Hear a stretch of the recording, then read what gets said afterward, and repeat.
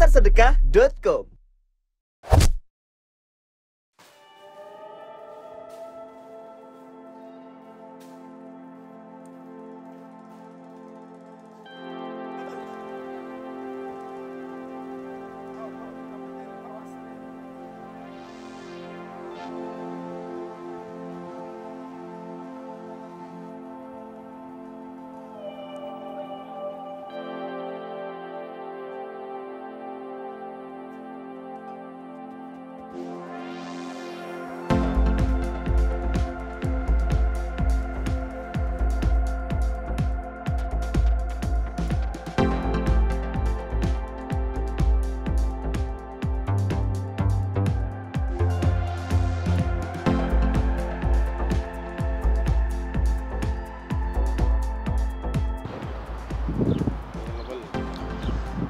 Bismillah. Assalamu alaikum wa rahmatullahi wa barakatuh.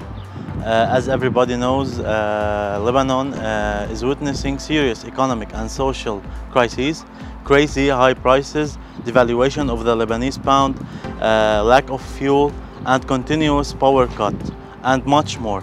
And today, ACT is launching its second campaign to help those affected uh, families uh, from the Beirut explosion. Inshallah, ACT today will uh, be distributing uh, food packs uh, in attempt uh, to uh, relieve some of the financial uh, burden that most of the families and affected families, to be to be precise, in order to alleviate the financial burden they face nowadays.